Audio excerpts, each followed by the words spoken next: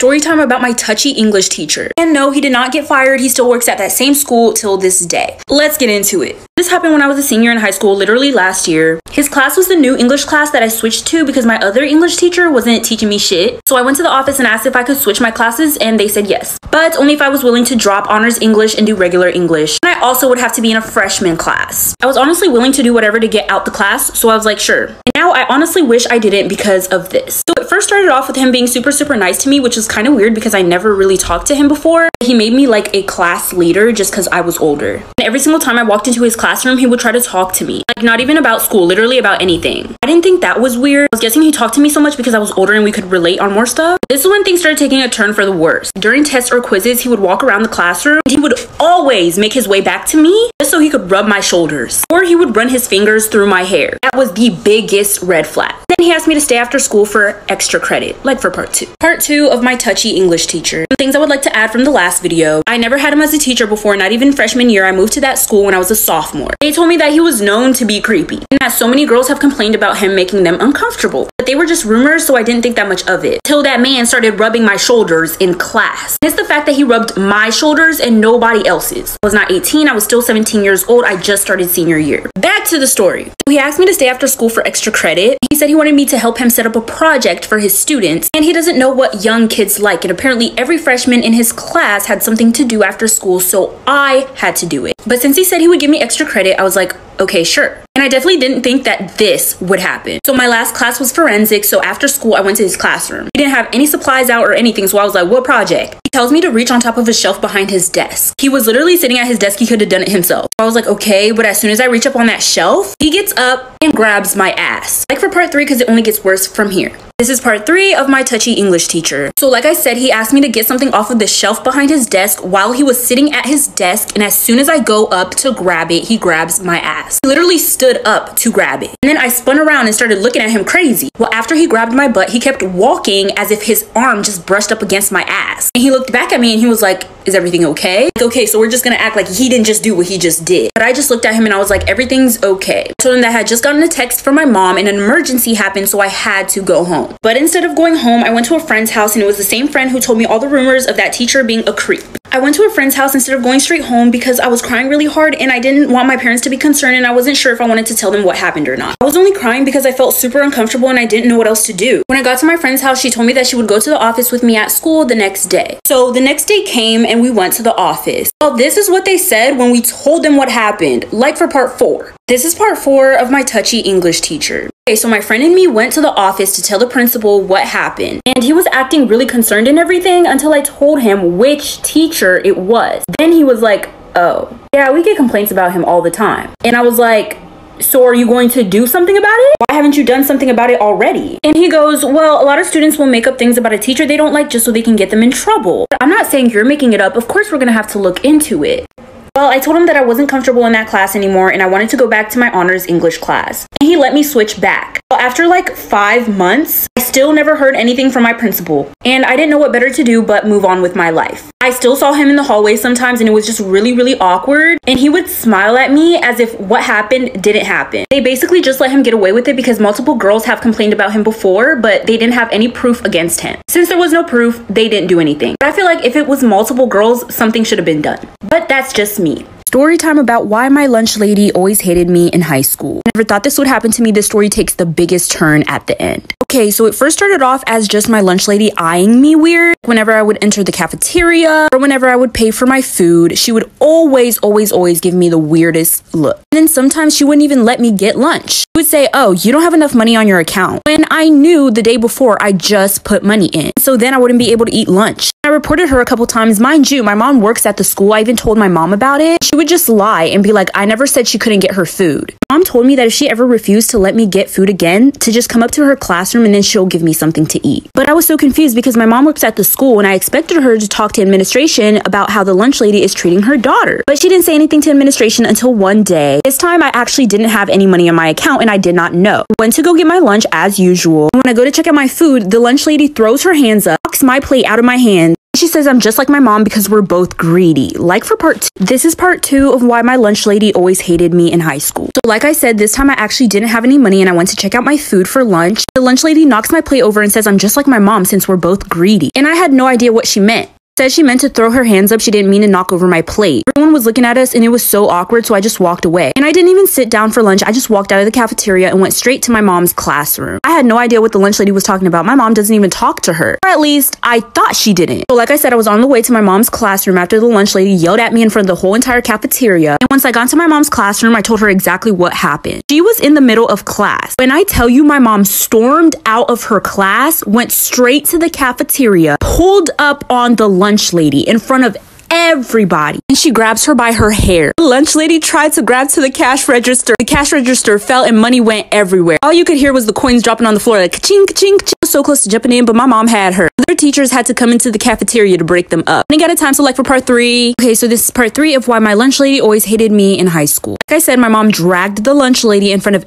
everyone in the cafeteria. Some teachers came and pulled them apart. They immediately fired my mom, obviously. My mom said, forget this, forget y'all, and she took me and we both went home. Well, on the way home, she told me the beef with the lunch lady. So apparently the lunch lady had been flirting with the history teacher. And my mom and the history teacher were seeing each other on the low. My mom was married. So I was like, so what about dad? She said that my dad just didn't make her happy anymore. But the problem with the lunch lady was the fact that all the teachers at my school are messy as fuck. They all talk shit about each other. They're always talking about another teacher. And so basically all the staff knew just because of rumors and gossip that my mom and the history teacher were kind of seeing each other. Everyone knew, including the lunch lady. So once the lunch lady started flirting with the history teacher too, they low-key started having tension with each other. But it was unnecessary for the lunch lady to take out her anger on me, so that's why she whooped her ass. By the way, this happened when I was in high school. I am now graduated out of college. And my parents are divorced now, so. This is a story time of why I dropped out of high school on my first day. And when I say my first day, I mean my first day of freshman year. After this, I never went back. So like I said, it was the first day of freshman year and I have extreme anxiety. My anxiety is literally so, so bad. I literally get anxiety just by waking up in the morning. So I was super anxious for my first day of high school. I literally was running around the school. I could not find my classes. I walked into the wrong classroom several times. It was so embarrassing. But then I finally made it to my first class. I sat down in the front of the classroom. Bad idea. After running around the school and not being able to find my classes and walking into different classes that I wasn't supposed to be in, which was so embarrassing, my stomach was literally in my ass. My stomach was literally bubbling because my anxiety. Felt so much pressure in my stomach, I needed to let some out. And you know, I thought I could get away with it, you know, a little silent fart. You know, it was silent, but it was not a fart. I shit my pants. Then the teacher says we're gonna go around the classroom and everyone has to stand up and say one thing about ourselves. Starting with me since I was sitting at the front. Now this is what happened like for part two. This is part two of why I dropped out of high school my first day of freshman year. So like I said, I just shit myself in class. The teacher says we have to go around the room and everyone has to stand up and say something about themselves. And of course, I had to be sitting in the front of the classroom and I had to go first. So I just told her I didn't feel comfortable standing up and I'd rather sit down. But she said that I had to stand up and everybody has to stand up. So I clearly did not have many options and I decided that I was gonna stand up. And so I stood up and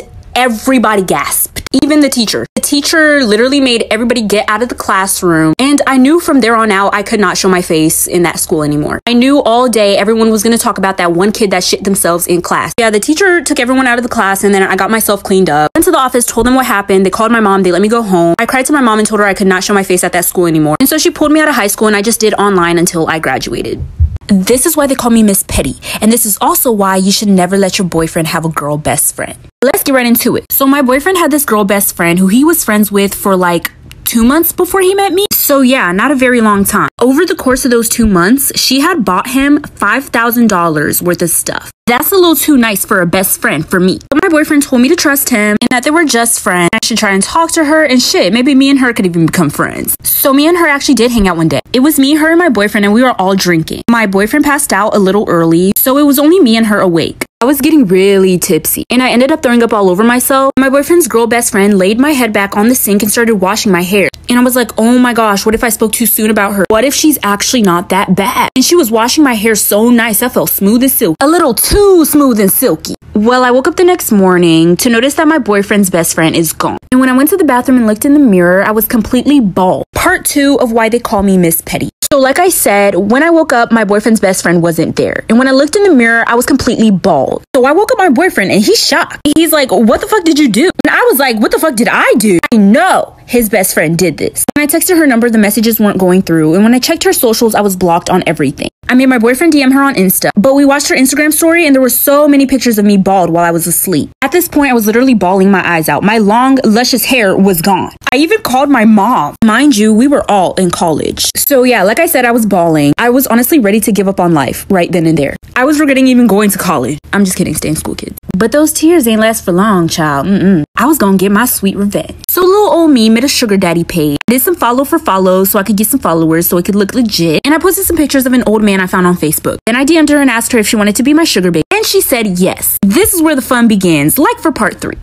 This is part three of why they call me Miss Petty. So I made a fake sugar daddy page and DM'd my boyfriend's girl best friend and asked her if she wanted to be my sugar baby. And she said yes. You want to know why she said yes? Well, well, well, that $5,000 worth of stuff she bought for my boyfriend came in handy. A week had passed since she posted all those pictures of me bald while sleeping. Oh, by the way, she saw Nair in the bathroom and used that to wash my hair. Well, a week passed and over that week, I sold all the stuff she bought for my boyfriend. I actually ended up getting like 6k back. So basically, I told her I would pay her $1,000 a week in exchange for some sexy pics. And I sent her $700 right there so she thought it wasn't fake. Bitch didn't even know she was getting her own money back. Eh. So I sent her $1,000 a week for five weeks in exchange for pictures. Well, once all the money ran out, it was time for revenge. I gathered up all the pictures that she sent me, made a fake page pretending to be her, and sent the pictures to her parents, her job, the school, and to multiple girls' boyfriends on Instagram with the text, break up with your girlfriend cause I'm bored, but shh, don't tell anyone. Like for part four. This is part four of why they call me Miss Petty. So after I catfished my boyfriend's girl best friend and posted her nudes everywhere and sent them to a lot of girls' boyfriends, boyfriend. Obviously, she was getting so much backlash and everybody was posting about it and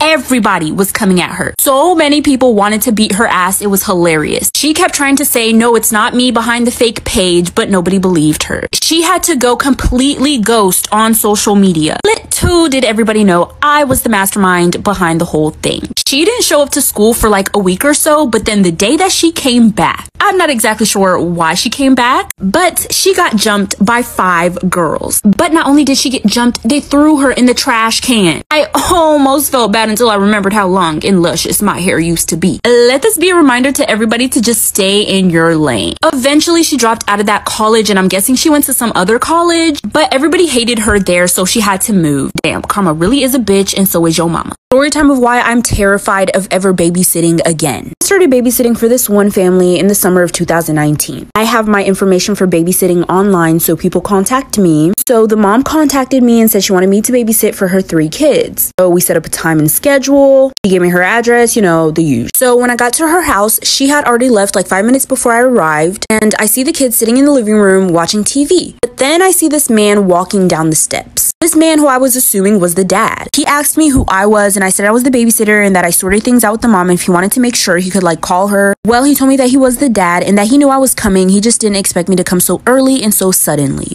Kind of confused as why they needed a babysitter if he was already there. I was like, okay, so he wouldn't be able to get into the house if it wasn't actually the dad, so it has to be him. Well, the mom texts me and says she's on her way home, so I put the kids to sleep and then I go home. Half an hour later, I get a text from the mom saying the kids are gone. When I described that man I saw, she said that sounded a lot like her ex-husband who has a spare key to their house. Part two of why I'm terrified of babysitting again. Like I said, when the mom came home after I left, she told me that the kids were gone. So I described to her the man that I saw in the house that I thought was the dad, and she told me that was the ex-husband who had a spare key to their house. But she did not believe me right away. At first, she was asking me a lot of questions, acting as if I was the one who kidnapped them, almost as if she was accusing me of kidnapping. And you know what? Those feelings were right. Obviously, the police had to get involved, and when I spoke to them, they told me that the mom wanted to know if I knew where the kids were. And I had already told her about the man that I saw. But they said that they would also look into the ex-husband as well. So she kind of believed me, but didn't 100%. I was literally being accused of kidnapping three kids. But they were looking more into me because her ex-husband lived in Colorado. We lived in Kansas. So I was a prime suspect up until they interviewed the dad and he gave himself up like for part three of why I'll never babysit again. So like I said, they were finally able to interview the dad, but it took a while because he lived in a different state. But when they interviewed him, he mentioned this girlfriend that he had. It was his current girlfriend, and so they asked him where she lived and all that good stuff. Well, the police decided that they were going to question the girlfriend as well.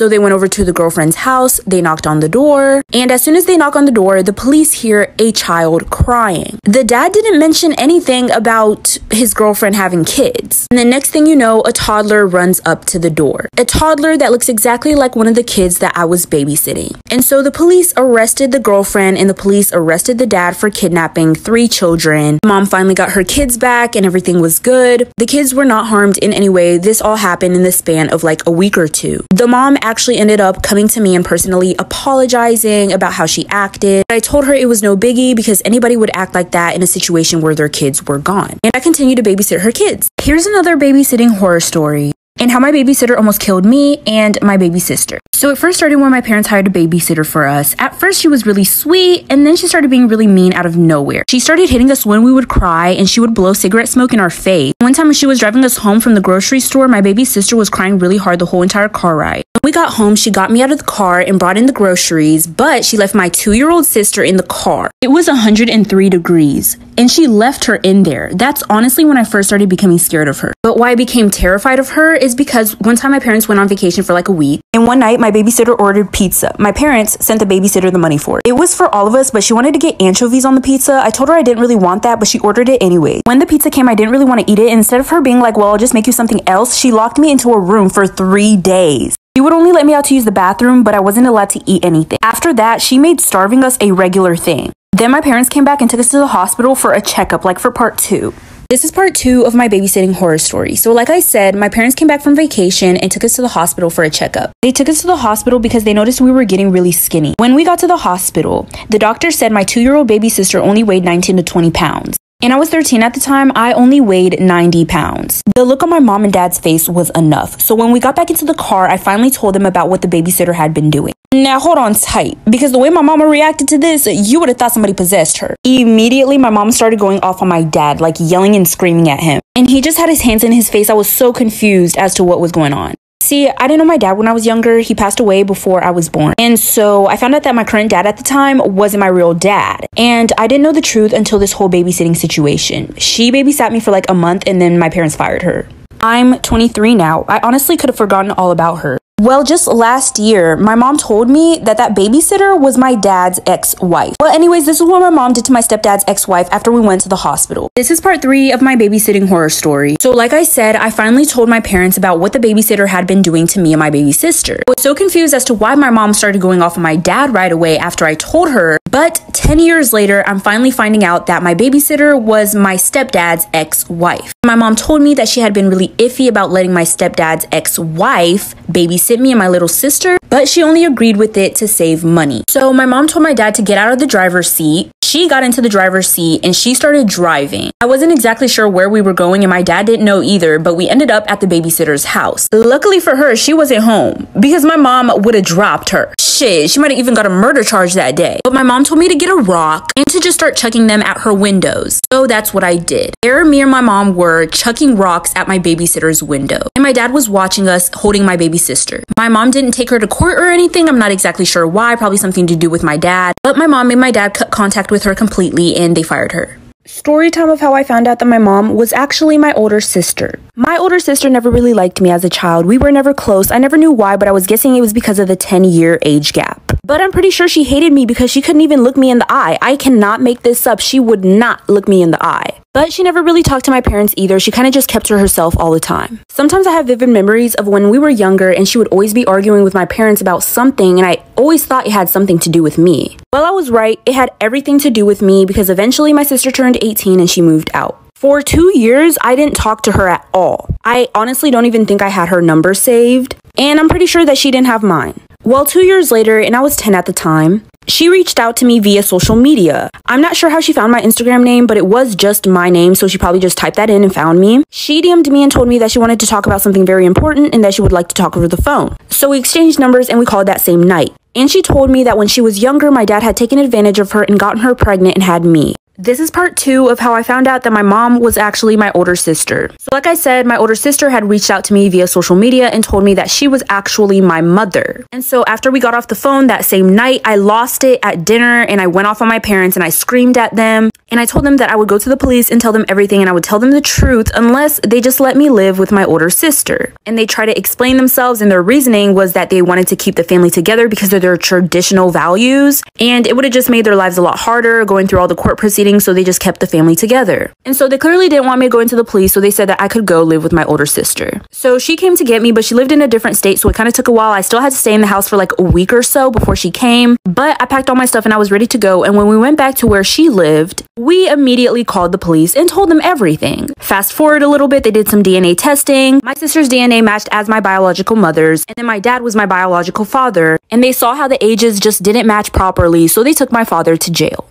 Story time about the bestiality children next door. If you don't know what bestiality is, hold on. So I was living in this neighborhood for five years. Throughout those five years, not one time did my family go and talk to the other neighbors. Why didn't we talk to the other neighbors? Because it's not like we were trying to make friends or anything. We didn't care for them. Well, one day, the neighbors' kids were playing outside while I was playing outside. My mom urged me to go over there and play with the other kids, even though I didn't really want to. So there was a little boy and a little girl. I went over there and I asked if I could pet their dog because they were playing with their dog. They said yes, and the dog started playing with me and started licking my face. Yeah, keep that in mind. Then we started talking about the bus because we ride the same bus. We have the same bus stop. After playing with them for a while, they invited me inside. I asked my mom if I could go. She said yes. So the little boy ran into his room and then the little girl invited me to her room. So to pass time, I asked her what she does for fun. She said she plays with her brother. And then she asked if I liked animals. Obviously, I say yes, and so she asked to show me a trick. That's when she brings the dog into the room and proceeds to pull down her pants, like for part two. This is part two of the bestiality children next door. Like I said, she brings her dog into the room and pulls down her pants. Totally forgot a very crucial piece of information. I was in fifth grade at the time. That's why I did what I did in these next events. She pulls down her pants and lets the dog go at it. The same dog that licked my face previously. The dog like went for it. Like he knew what to do. The only words that I could form was ew. She had trained this dog to do that. So after I said ew, she immediately got up and put her pants up and like she was surprised that I was grossed out like any normal human being wouldn't be. Then out of nowhere, she starts crying and I started feeling really bad. So I told her that I wouldn't tell anybody. And so she tells me I had to switch to my dog because my hamster wouldn't do it. Then she gets up and opens this drawer and proceeds to pull out a dead hamster. She says he wouldn't lick, he would only bite. She starts crying really hard and says she feels uncomfortable and she would feel better if I let the dog do what it did to her. As much as I didn't want to, I wanted her to feel comfortable, so I did it.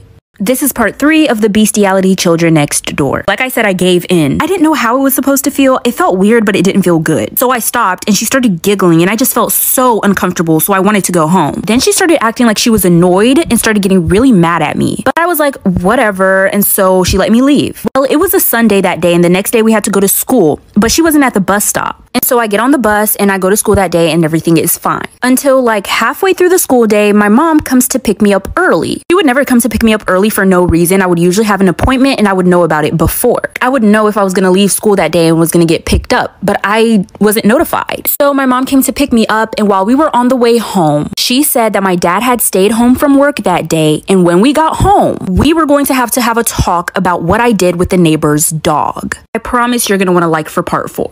This is part four of the bestiality children next door. Baby, that rhymed. Like I said, my mom is driving me home right now and we're gonna have a talk when we get home with my dad about what I did with the neighbor's dog. I tried to explain myself to her in the car, but she wouldn't let me talk. She didn't want me to say anything until we got home. But when we got home, it wasn't just my dad sitting in the living room. The neighbors were there. The mom, dad, and the two kids. So I was like, is this a setup? And The neighbor's dad is fuming. As soon as I walked into the living room, he stood up and tried to get in my face. Mind you, I was in fifth grade. He did that in front of my parents. My parents told him to back up, obviously, but there was a lot of tension. When he was in my face, he was saying, How dare you force my daughter to do that with our own dog? That's when I knew what the fuck was going on. This little fucker. Basically, after I left my neighbor's house the day before, the daughter went up to the parents and told them that I showed her the trick with the dog and forced her to do it. But this is when things take a turn, babes. This is part five of the bestiality children next door. Like I said, my neighbor's parents and their kids, and my parents and I were all in my living room discussing about this dog situation. So I went ahead and explained myself that she was a fucking liar and that nothing that's coming out of her mouth was true and that she was just lying and lying. And the neighbor's parents weren't too happy about the fact that I was calling their daughter a liar. And the mom just lost it and started screaming at me and going at me and just saying all these mean, terrible things. It was almost as if she had a personal problem with me.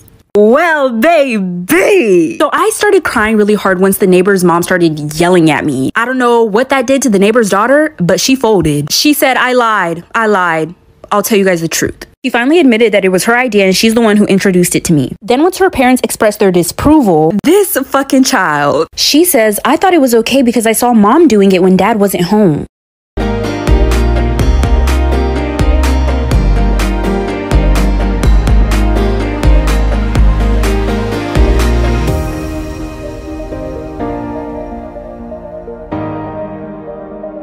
Story time about how my brother caught me hooking up with his girlfriend. My brother started dating this girl last year and they were hanging out every day. Also around that time last year, I started to figure out my sexuality. Well, since my brother and her would hang out every single day at my house, I would see her all the time. And I started to get little feelings. Something came over me, baby. I was like, God is a woman. I just kind of came to the conclusion that I liked girls. Since she was dating my brother and they were home all the time, me and her kind of started talking too. We exchanged Snapchats, you know, just a friendly exchange. Keep in mind that at the time she didn't know my sexuality. Nobody did. So that night, after we exchanged Snapchats, I was Snapchatting somebody else, and I was sending them some explicit pictures. Since I recently just added my brother's girlfriend on Snapchat, her name was at the top, so I accidentally clicked on her name and sent her the explicit picture. I didn't even realize that I did that until I received a snap from her out of nowhere, and she had sent an explicit picture back, like for part two. This is part two of how my brother caught me hooking up with his girlfriend. So, like I said, I accidentally sent my brother's girlfriend an explicit picture on Snapchat. Not knowing that I even sent it, I received an explicit picture back from her. I said, baby, I'll really bite your titties. Stop playing with But after she sent me the picture, I responded with hard eyes, and then she texted me and said that she would be coming over tomorrow to hang out with my brother. I basically said, cool, I'll see you around, and then she came over the next day. So the next day came and she was at my house, but I wasn't talking to her. She was with my brother. And then she walks into my room. I was like, hey, where's R- Rob? We'll just call the brother that. She said she sent him to the store to get some snacks. I asked if she wanted to come chill on my bed. She agreed. And right off the bat, we started you know, we getting it bonking, having a good time. That's when the door swings open and there my brother is standing at my doorway. Like for part three.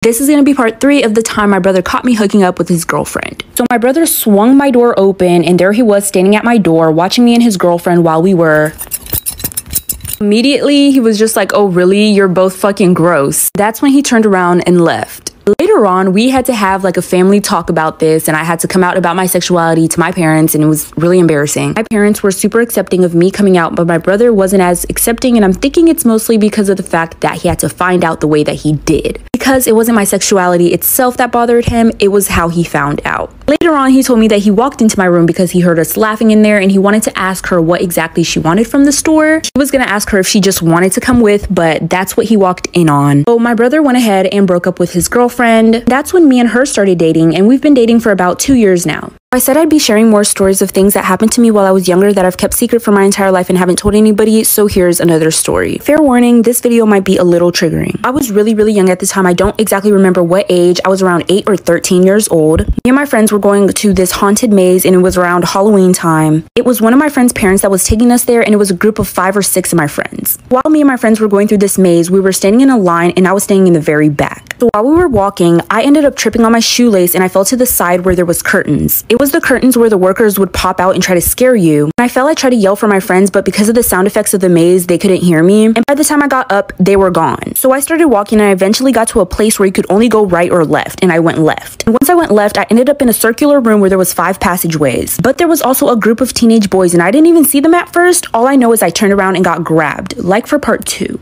This is part two of the time I got lost in a haunted maze. Like I said, I lost track of my friends and I was looking for my friends and I ended up in a part of the maze where there was all these guys that I didn't even see at first. All I know is I turned around and I got grabbed. So I screamed. I was super young at the time. I was defenseless. I didn't know what to do. Those guys seemed like they were around their teenage years and they were laughing and making a joke out of it. One of them was laughing and they told their friend, grab her legs. And so the friend grabbed my legs and they were tugging me and pulling me. And then they started to pull my pants down. Panic was filling over my body. I couldn't even scream. When you're young, you'd always think you know what to do at these moments, but you really don't. You just freeze up. And that's exactly what I did. I just froze up. But thankfully, as soon as I felt my pants starting to get pulled down, another group of people turned the corner, and that's when the boys dropped me and ran, like for part three.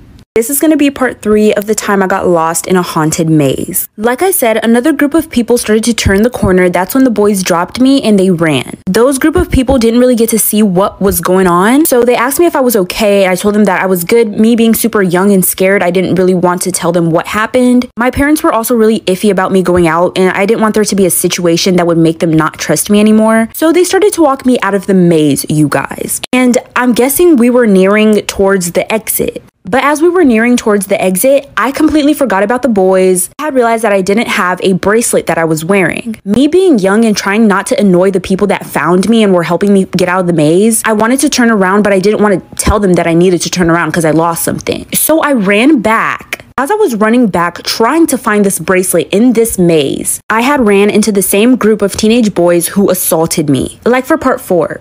This is going to be part four of the time I got lost in a haunted maze. I had lost something in the maze, and once I ran back to find it, I had ran into the same group of teenage boys who assaulted me. Like I said previously, I had completely forgotten about these boys. How did I forget about these boys? I'm not sure. I was very young, very dumb, and I wish I wasn't scared at the time to tell those people who were walking me out of the maze that I had lost something because I'm sure they would have been nice enough to help me find it. But I was scared. I didn't want to annoy them. So as soon as I saw those boys, I was thinking life or death. Why was I thinking life or death?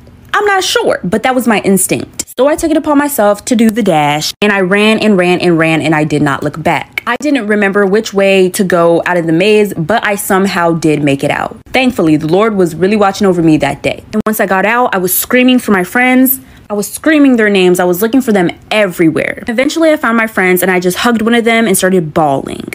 This is the time my mom faked her death so she didn't have to take care of me and my siblings. Yes, this girl really faked her death. So at the time, I was five and my little brother was three. It started off with my mom saying that she didn't feel well and she couldn't pick me up from school, so the bus would have to take me home. Well, a few months after, she started getting picked up from our house by this black car. She said that car was picking her up because of her so called doctor's appointments. And she wasn't able to drive herself because she was too sick. Well, one day when this car came to pick her up, she never came home. Me and my little brother were sitting around for a couple days waiting for her to come home, but she never came home. And we were young, so we didn't do anything. Eventually, my aunt came over to to our house and told my little brother and I that our mom had passed away and that she was cremated and they kept the ashes. So our aunt started taking care of us. Until one day I saw my aunt getting picked up by that same black car. That's when I started to get suspicious of everything and I decided to check these ashes. When I checked, it was flour. Like for part two. This is part two of the time my mom faked her death so she didn't have to take care of me and my siblings. I said, my aunt told me that my mom had died and they cremated her and they let her keep the ashes and that she was going to start taking care of us. Me not knowing how long the cremating process actually took at the time since I was so young, I believed her. Until one day I saw my aunt getting picked up by the same black car that my mom used to get picked up by before she died. That's when I decided to check these supposed ashes and it was actually flour. So one day when my aunt got picked up by this black car, I decided to follow her. I didn't have a car, I was five years old, so I had to follow them by walking and hiding behind bushes. I was able to follow them up the street, and once they turned the corner, and there I saw my mom standing on the side of the street. That's when I see the car stop and I see my aunt get out and approach my mother. She tells my mom to give her her money for covering for her and taking care of me and my little brother. Mom says she faked her death because my dad wasn't in our lives and she didn't want to take care of us anymore. I'm older now and I cut her off completely and I have full custody of my little brother.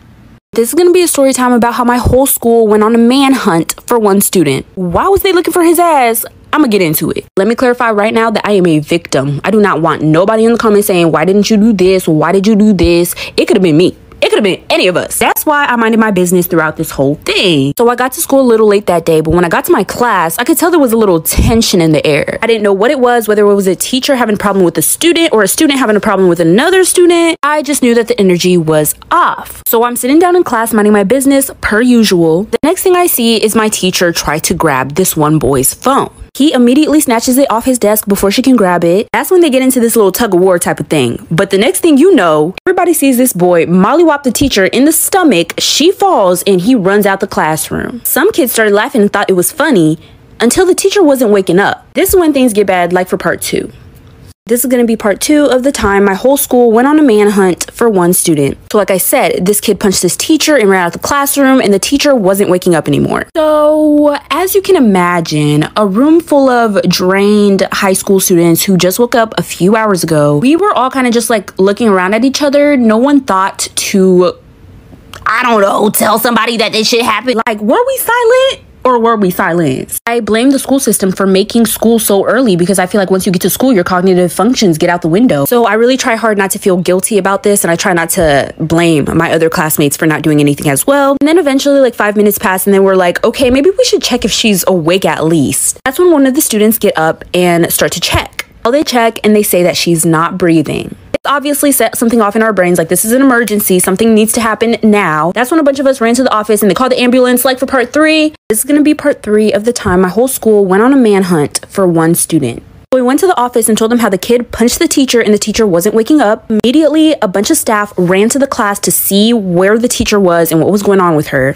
I didn't personally run to the office. When I say we, I mean my classmates. So I was still in the classroom when all the staff ran in. So they told everybody to exit the classroom and everybody needed to get out of the classroom because they needed to give her some privacy and examine her. So we were all standing outside of my classroom and it was like 30 kids. The teacher that was next door to us was really close to my teacher. They would always talk in the hallways. They had their lunch periods together, their study periods together, and her door was wide open. Why didn't we go in there and tell her what happened? Honestly, like I said, we were high school students. It was really early. So she came out once she saw all of us standing outside in the hallway and she was like, What's going on? Once we told her that a kid punched the teacher and that she passed out, her face drops and she announced that the teacher was pregnant. Mind you, nobody knew this because she hadn't announced it herself yet. This is when they called the ambulance, like for part three. This is going to be part four of the time my whole school went on a manhunt for one student. So now everybody knows that this teacher who is passed out on the floor and is not waking up is pregnant. That's when they decided to call the ambulance. I'm guessing they didn't call the ambulance earlier because they were waiting to see if they could try to get her to wake up. They went ahead and put the whole school on lockdown. Nobody was allowed to leave their class, and me and my classmates went into the teacher's classroom next to us. We were sitting in the classroom for like a couple hours, and throughout these couple of hours, what we were hearing outside of the classroom was complete chaos. There was a bunch of cops, a bunch of cop radios, there was dogs. We heard a bunch of yelling and running, and that's when the announcements go off once again. And that's when they announce that they're looking for that kid and they can't find him anywhere in the school. They're gonna let the day go back to normal, but if anybody sees him, to report it. At this point, everyone at school already knew what happened because of social media, and once they heard on the announcements that they had permission to look for the kid, lots of kids took that as this is a scavenger hunt. When I say lots of kids, I mean the whole school, like for part five. This is going to be part five of the time our whole school went on a manhunt for one student. Once they announced to report the kid who punched the pregnant teacher in the stomach if we see him throughout the school day, lots of kids took that as find him and bring him to me and started hunting him down. I mean, like, as they should. So, anyways, yeah, complete chaos broke out. As soon as that bell rang, child, you would be able to leave school and nobody would notice. Everybody was in the hallways. People were looking under the stairwells. They were checking in the janitor's closet, opening up doors that they shouldn't be opening. And with everybody looking for this kid, we found him pretty fast. We did what the police and police dogs couldn't do. This kid was hiding in the band room under the band instructor's desk. They found him and arrested him on school property. We got word that that teacher did in fact lose her baby, but she was okay and she was alive, but she chose not to work at that school again. But she never came back, and I don't know, I think that kid is still in prison. It's gonna be a story time while I take my makeup off about how I was the crazy ex. So my boyfriend at the time, we were on and off and he kicked me out and told me to pack my stuff and I had to be out that night. I definitely packed my stuff for sure, packed my stuff and moved it to a different closet in his house that he never opens. So I started sleeping in his car, but he kept finding me there every morning when he had to go to work. So I decided that I was going to continue sleeping in his car and I was gonna wake up a little earlier before he had to go to work. And I knocked on his door and I told him that I needed to get some stuff that I forgot. I decided that I was gonna take my sweet time up until the time he had to go to work so I could have the house all to myself. I slept in that house for multiple days without this man knowing. Is he ever gonna find out? I don't know. Listen, Linda, I honestly did what I had to do and I do it again. Well, one day I remember him coming home and I kept hearing a girl's voice. This time when he came home, it was kind of unexpected, so I had to run under his bed. I kept hearing this girl's voice all the way from downstairs until he came upstairs. And so once he sat down on the bed, I jumped out from out that mug and I jumped on his ass. But I didn't see no girl. Apparently, he was just on the phone. He dragged me out the house, told me I was crazy, said he was gonna call the cops if he saw me there again. But all is good. This was like five years ago. Me and this man are married now. He is now my baby daddy. And we got three kids. This is gonna be a story time of how I almost drowned someone's baby. Y'all, I cannot sleep at night because of this. I cannot believe that I did this to someone's child. But Let me go ahead and explain myself. So I was babysitting for this one rich ass family. What's so amazing about it was the fact that the parents were never home. At the same time, I was just a senior in high school. I didn't have much to do after school either. I didn't have hobbies. I didn't play a sport. So I had all the time in the world to babysit for their kid and house sit for them. This baby was only one years old. Since the baby was so young, I had to keep eyes on it at all times. They had this big pool area and they said that if I ever wanted to go swimming, I could, and there was a floaty for the baby. One day while I was house sitting and babysitting for them, I went in the pool and I put the baby on the floaty thing. Somehow I forgot that that baby existed. I felt something in the bottom of my feet at the pool. It was like slippery, so I kicked it out the way because I thought it was a toy. And then when I turn around me, I see that the baby is not on the floaty. I look down and I see this tiny human sunk in the water, like for part two. This is part two of how I almost drowned someone's baby. When this was happening, I was on my phone, so I was distracted. I looked down in the pool and I see that the baby is drowning. I don't really know how to explain the way that my heart skipped a beat at this exact moment. Like my heart was beating regularly and then all of a sudden it skipped two beats at a time. My ass was in my forehead. Immediately dived down into the pool, took out the baby, but the baby was suffocating. Now listen, I never did CPR, but God blessed me with those skills in that very moment. I was able to keep myself calm and did CPR on the baby and was able to get it to breathe again. I did not tell nobody shit about this. I didn't tell the parents. The baby is fine. I really should have told the parents because what if it did cause a health issue? But from what I've seen, the baby's fine. Yeah, I didn't tell them what happened, but I quit babysitting because I felt guilty. They haven't said anything about their baby dysfunctioning, so the baby is fine. Just because of this, I pulled myself out of babysitting and I'll never babysit ever again because I'm clearly not responsible enough. This is a story time about the time I dated the school shooter. This might be a long story, so please bear with me. Before you form any opinions on anyone in the story, please wait all the way until the end. Trust me, you're gonna wanna listen to this story time. There was this boy who went to my school and he was really shy and he got bullied a lot. He got bullied a lot because he was a lot more feminine than other guys. And I'm just the type of person to give people the benefit of the doubt, so I went ahead and started talking to him more to see the type of person that he actually was. He didn't sit with anybody during lunch, so one day I went up to him and I sat down right next to him and I started talking to him Immediately, I loved this boy, everything about him. He was extremely sweet and considerate and understanding, and I knew that if other people took the time to get to know him, they would like him too. So we exchanged numbers and we started to FaceTime a lot. As we started to FaceTime more, I started to notice things that were a little off about him. Every single conversation that we had, he would always have to bring up about how much he hated this one boy in his tech class and how he would shoot up the school just to get rid of him, like for part two. This is part two about how I dated the school shooter. So let me backtrack a little bit from part one. We exchanged numbers, we started to make plans to hang out outside of school, and we just started talking more outside of school, and eventually we started dating. He never really talked about this guy in his tech class until we started dating. Keep that in mind. For some reason, that guy in his tech class really bothered him. Like I said, he started talking about how he would shoot up the school just to get rid of this guy. At first, I thought it was just a joke and he was just saying that until he kept saying it. He started being so serious about it and he started planning it out and exactly what he would do when he did it. That started to scare me and so I decided that I was going to record one of these conversations just in case. Well, during that conversation, he said he planned to shoot up the school the next day. He said in these exact words, fuck it, you know what? I'm just going to do it tomorrow. Then he tells me to not come to school the next day. That's when I know that he was actually being serious. Immediately after I started writing up an email to the school like for part 3. This is going to be part three of the time I dated the school shooter. So his exact plan was to use this new gun that his dad had just recently bought. And his exact goal was to get rid of that guy in his tech class. And his tech class was in the beginning of the school day. So after I wrote that email to the school about his plan and inserted the recording that I secretly took of him admitting to it, I realized that I had sent that email at around 12.05 a.m. Most of the time, the teachers don't ever email you back unless the school day has already started. That morning, for some reason, everything in my gut was telling me I sent the email too late. They're not going to open it in time. They're not going to see it in time. My mom just thought that I was sick that day, so I told her that I was gonna take a walk around the neighborhood. And I totally forgot to mention that he lived in my neighborhood. I told my mom I was going on a walk, but I was actually going to his house to tell his parents. By the time I got there, his mom told me that the dad is driving him to school. I told her his plan, let her listen to the recording. So she checked where the dad put the gun and it was not there. She called the dad to tell him to check his bag. But the dad said he had already dropped him off at school and he was halfway home. His tech class was first period, like for part four.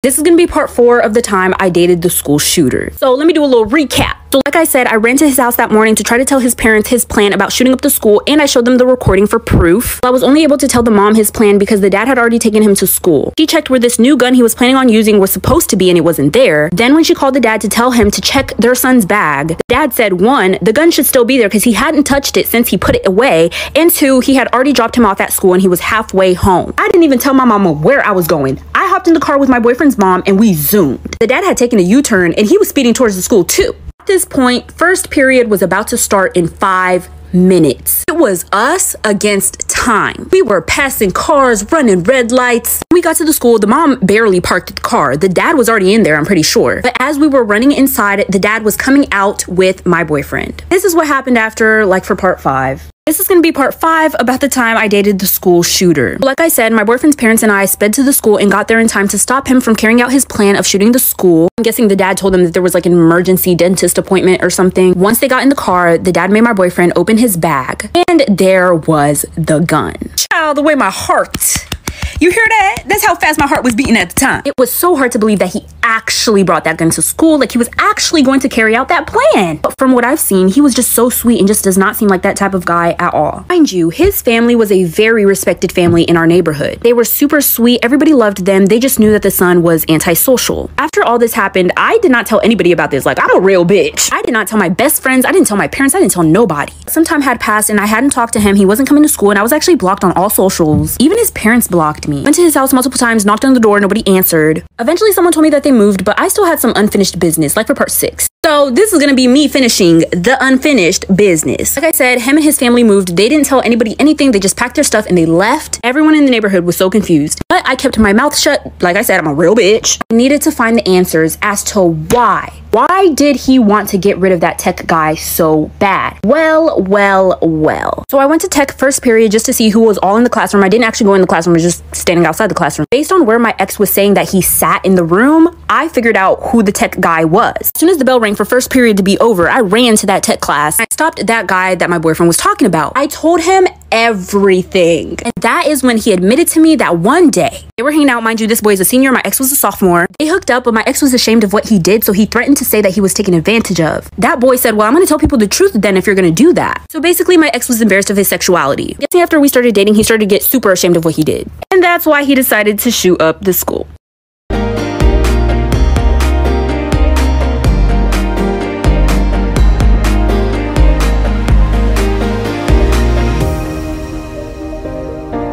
This is a story time of why I don't eat at other people's house no more. Me and my best friend, we were like 11 or 12 at the time and we were having a sleepover at her house. We had hung out outside of school many times before. This would just be the first time I went over to her house. My mom drops me off and just lets me walk inside. When I went up to the door, my best friend answered and she was like, Hey, can you grab a shoe? Immediately, I could tell that the house wasn't very clean, but I knew it wasn't her fault. It's not because she asked me to grab a shoe. I could see behind her and could tell that the house was just really messy. It really did look like an episode of Hoarders, but I grabbed a shoe and I helped her look for that fly. So it was me, my bestie, and her grandma looking for this big ass bug. We got a little tired, so we sat down to eat something, and her grandma made us a snack. I was a little scared to eat, not gonna lie, but I didn't want to make my best friend feel bad, so I went ahead and ate my food. Well, I was only able to eat some of it because we had left the door open, and we saw the bug fly down there. So we stopped eating, ran down to the basement, and we saw the bug fly behind this box. We moved this box, and I swear 100 families of spiders and their ancestors started spewing out, like for part two. This is to be part two of why I don't eat at other people's house no more. Like I said, so many spiders started spewing out from behind this box. I genuinely thought that these spiders were going to eat all of us alive. Was not a fun situation. We did not run fast enough. These spiders started crawling all over us. I think I saw a lighter somewhere and considered setting myself on fire. I want you guys to imagine like my whole entire body covered up with spiders. That's what it felt like, but there was only like five or six on me. The grandma gets a blanket and starts whipping us with it. He's like trying to dust the spiders off. I see my best friend start stripping. I was a little about that, but I was like, fuck it. Anything to get these spiders off. Once we felt like we were good, we ran upstairs. My best friend started crying to me and apologizing and saying how much she hates her life and how she's so embarrassed. But I told her that all is good and this doesn't change the way that I see her at all. Have our little moment and then we sit down to eat again. And you know, I'm going in on my little spaghettios. But all of a sudden, it starts getting crunchy. I ignore it and I get down to the bottom of the bowl. When I look down, there is a half-eaten spider in the bottom of the bowl, like for part three. This is gonna be part three of why I don't eat at other people's house anymore. So like I said, I was munching and grunching on some spaghettios. Getting crunchy and I'm like, what's this crunch? Where's all this crunch coming from? I was like, bruh, it's probably some expired spaghettios, but let me finish this bowl so my friend don't feel bad. When I got to the end and there was only some soup left, I saw a half-eaten spider. The same spiders that we had seen downstairs. My body it started vibrating. I was shaking. I seized out. I think I passed out. This was not a good situation. I did have a phobia of spiders. I told my best friend, listen, babes, I love you. You know I love you. But this cannot go on no longer. I'm gonna have to go home. I felt like such a terrible friend, but I did call my mom and she came to get me and she took me home. I told her what happened and she was upset with my friend's grandma. From then on, we only had sleepovers at my house. And ever since my family found out about her living situation, we would go over there sometimes to help them clean. We would bring food and games. I'm grown now, but me and this girl ended up falling out because of some drama. This is gonna be a story time of when my stepbrother killed our dog and fed it to me and my little sister for dinner. Let's get right into it. So my mom had died when I was younger and my dad had remarried. So I had a stepmom and she had a son.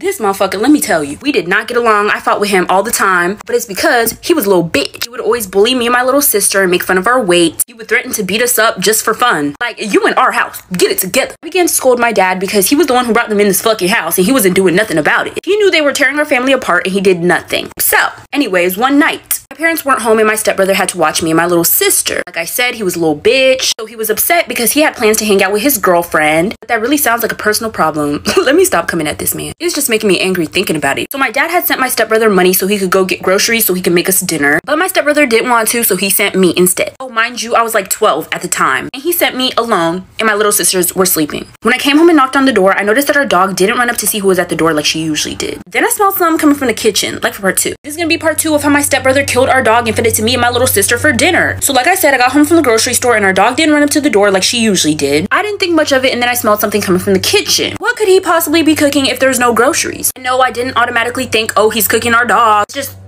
hold on. Whatever was cooking on the stove smelled like shit. It made the whole house stink, but like I said, I didn't think too much of it. Now that I think of it, I heard the laundry machine going and my family had a set schedule for laundry. Like we never did laundry off schedule, so that was kind of weird. My parents are just very organized people, besides the point. So I go upstairs to wake up my little sister and I see my stepbrother pass me and go down to the kitchen. An hour or so goes by and he calls us downstairs and says dinner is ready. All he did was boil some corn, give us canned peas and some slab of meat. The meat was burnt, by the way, but I guess food is food. So we started eating this atrocious meal, and all I could think about were these tiny little hairs that just kept going in my mouth. I kept pulling pieces out my mouth. Mind you, this hair had no color, it was burnt. Now, our dog loved to eat dinner with us, but she was nowhere to be seen. I started looking for her and I realized that she's missing.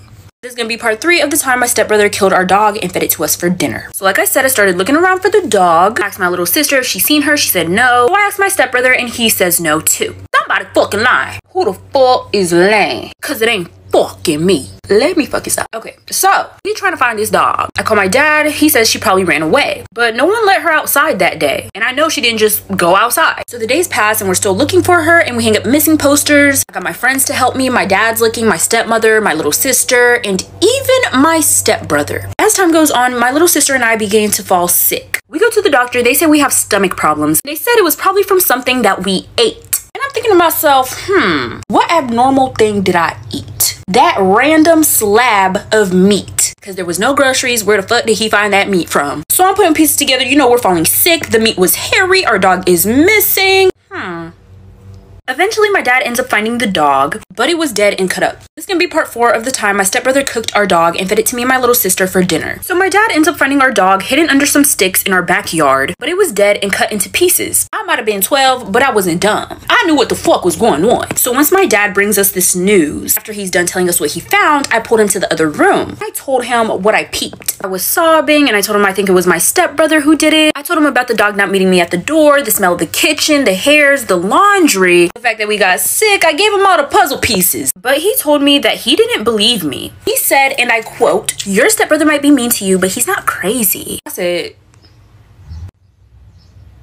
because it's right there. It is right in front of you. The evidence speaks for its fucking self. I ain't gotta say too much. So my dad ends up not doing anything to my stepbrother. He faced literally zero consequences. I'm 19 now and I don't talk to him anymore. Till this day, I 110% believe that my stepbrother did it. Story time of the sickest I felt in my whole life. You might want to hold your breath for this one. My boyfriend and I had been dating for like eight months or so. I had my own place, so I let him move in with me. One day, my best friend decides that she wants to become a hairdresser, and so she started taking clients and doing people's hair. I became one of her clients because she did hair really good and she didn't charge me as much because I was her bestie. Whenever I needed her to do my hair, she would come over to my place. Well, over time, my best friend and my boyfriend began to become closer. I didn't think anything of it because I trusted my best friend and my boyfriend. Sometimes my best friend and my boyfriend would be alone together because if she was doing my hair that day and I wasn't home, I would make my boyfriend open the door for her. She could just go ahead and walk on in, get her stuff set up, and then once I was there, she could do my hair. Like I said, I trusted them enough, so I wasn't worried about it. Bitch, I should have been worried about it. One night, my boyfriend tells me that he's gonna be working a little late that night. So, you know, I'm like, okay, that's fine. So that night, I was just sitting on my bed scrolling through my social. Then I opened Snapchat.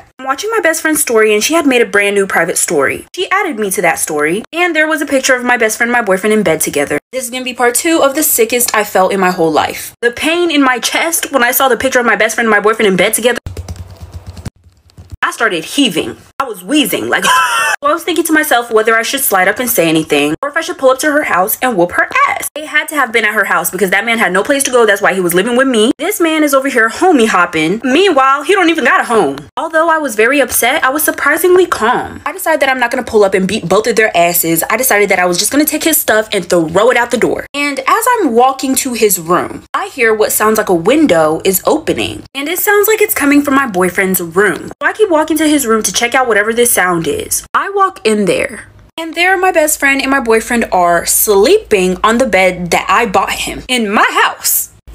Bitch, like for part three. This is gonna be part three of the sickest I felt in my entire life. Like I said, I walked in the room and saw my best friend and my boyfriend sleeping, sleeping. I'm like, okay, we taking naps. We taking naps, bitch, in my fucking house. Let's take a fucking nap. Then I'm gonna put both of y'all to sleep. So my boyfriend actually looked like he was sleeping, but I could tell that my best friend was faking it. She had just posted that snap only 10 minutes ago. It was clearly intended for me to see. So I walk up to the bed. I go over to where my boyfriend is sleeping. And when I tell you, I smacked the shit out that there, whacked that yuck. Like I was trained for it. Meanwhile, my best friend's over there like, oh my god, oh my god. I'm like, bitch, I'm about to get to you. But right now, we focus in on him. But I'm gonna get to you, I promise. So I lift the covers off of them and I see that they're both naked. So that's really when I started pouncing on him, scratching him, biting him, you know, all that good stuff. Meanwhile, my best friend's over there trying to put her clothes on so she could go. Girl, you ain't going nowhere. Because after I was done pouncing on him, I charged towards her. Like for part four.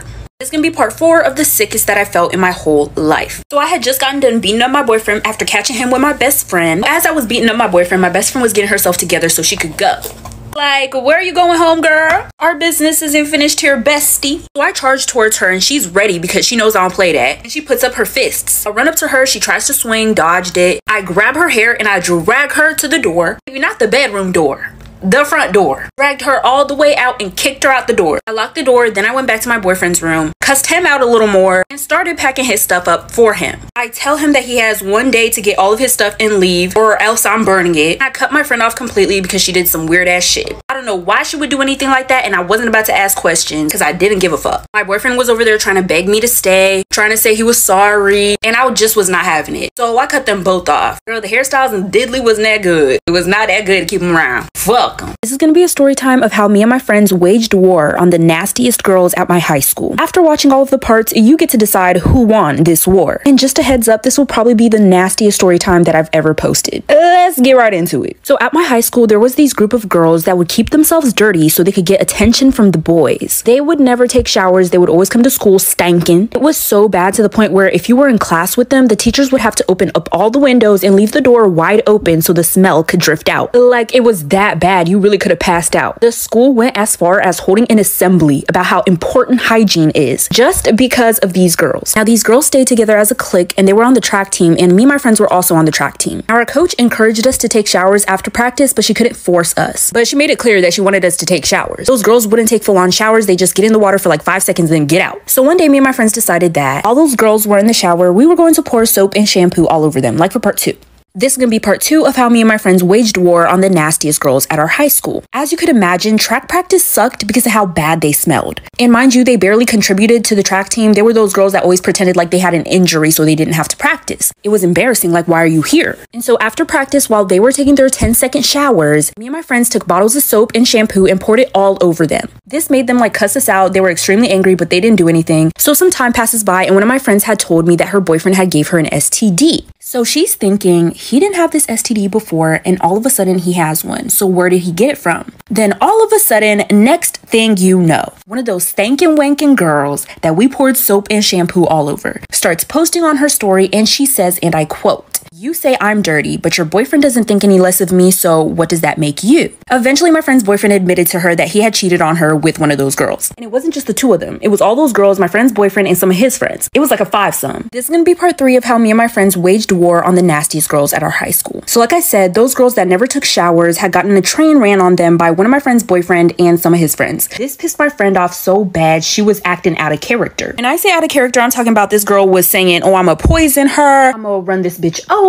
At the time, it seemed excessive, but just wait until you hear the whole story and you'll understand why it would have been justified. So, my friend had asked her, well, her ex boyfriend, why he did what he did. He said that they didn't smell bad at the time and it was just spur of the moment. But he knew that his own girlfriend did not like those girls. My friend would talk shit about those girls to him. And it's the fact that he still had the audacity to put his dingling in my friend after he had ran a train on those girls. Like, that's disrespectful. And so, to get back at these girls, my friend decided that she was going to stay in the locker room for track practice after all the girls left the locker room. And she took a piss on all of those girls' clothes. This led to one of the girls getting a rash that got really bad to the point where she had to be hospitalized. Trust me, you're gonna wanna like for part four. So this is gonna be part four of the time my friends and I waged war on the nastiest girls at our high school. So after my friend had pissed on those girls' clothes for giving her an STD, one of the girls got a really bad rash for wearing those clothes and had to be hospitalized. Now I would have said that my friend went too far if it wasn't for this. So my track team ended up going on a camping trip and the coach told those girls specifically that if they wanted to go on the camping trip that they were going to have to be hygienic. They were going to have to take full on showers, they were going to have to brush their teeth, they're going to have to bring a change of clothes. And me and my friends had hoped that they weren't going to come on this camping trip so we could have our fun. But they actually agreed to being hygienic and so they came on the camping trip. I'm still taken aback at the events that happened on this camping trip. So we're on the camping trip, we're like the third day in. We sat around the campfire and made s'mores and then we all went to sleep in our tents. Me and my friends, we all shared a tent. All my friends were asleep, but I wasn't asleep yet. I was still drifting asleep. And then I heard somebody open our tent. It was kind of dark, but I could still make out who it was, and it was one of those girls me and my friends were beefing with. She gets to where my friend is sleeping and squats down, and she takes a shit right on my friend.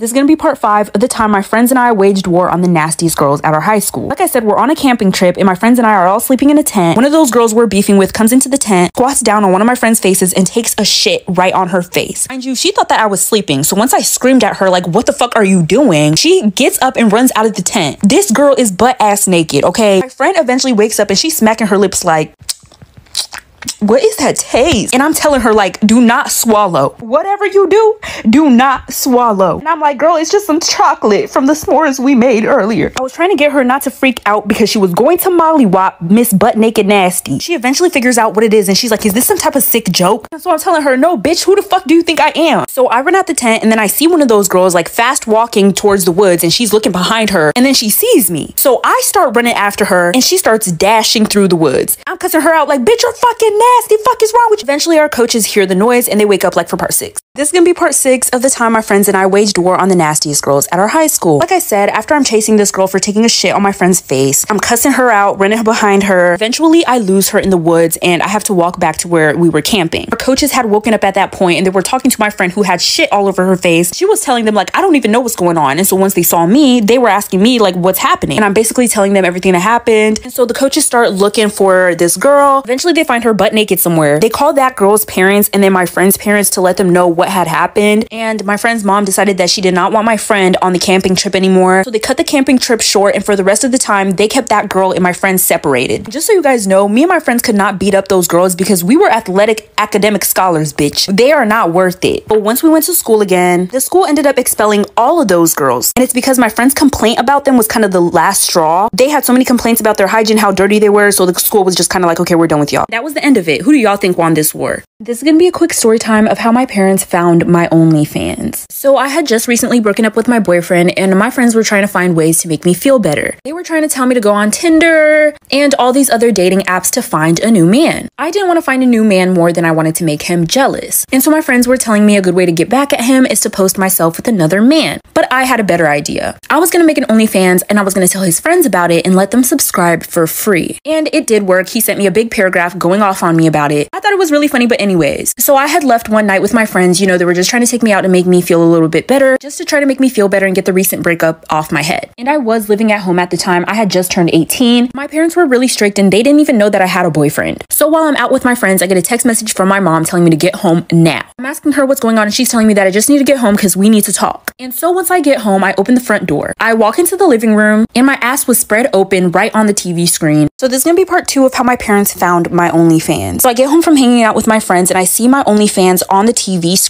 My mom is acting like she just saw the Holy Ghost. My dad is shaking his head, just mad disappointed. For some reason, my little brother was sitting over there on the couch. And I'm like, what are y'all doing? What is this? Why would you put it on the TV? Our TV was a smart touch screen TV and you could connect your phone to the TV, but I didn't understand why it was on the TV screen with my little brother right there. My mom's yelling at me like, so is this what we are? Is this what we do? She's telling me if I'm going to be acting grown, then I'm gonna have to find a different place to stay because I'm not about to represent our family like this. So I told her that it was just a quick way for me to make money and she told me that I was lying. And then she proceeded to show me a text message that she got from my boyfriend telling her that I had let his friends subscribe for free and that I was going down the deep end and I need to be talked to. I don't know if I said ex-boyfriend or not, but it was my ex-boyfriend who had sent her that text. So I told him that I would delete my OnlyFans and this is what I said to my ex-boyfriend like for part three. So this is gonna be part three of how my parents found my OnlyFans. So it was my ex-boyfriend who had told my parents about my OnlyFans. So I decided that I was going to message him. I basically went off on him and I told him, why you fuck would you show my parents my OnlyFans? Why did you feel the need to do that? You're just jealous, yada, yada, yada. And he told me that it's because he doesn't want me to represent myself that way. But I know it's more of the fact that his friends were subscribed to me and he wanted me to just take it down. And I told him that we weren't in a relationship anymore, so his opinion didn't matter. I removed him off everything and he still found ways to text me. He even eventually started to email me. And now he was telling me that he missed me and that he wanted another chance. And I'm like, dude, no, you almost got me kicked out. From that point on, my parents never helped me out with anything ever again. I had to start paying everything by myself. And throughout the relationship with my boyfriend, he would basically do everything for me. And so I decided to get back with him. Eventually, he got his own apartment. And so I moved out of my parents' house and moved in with him. And then me and him made an OnlyFans together. My parents found out about that too, but there was nothing that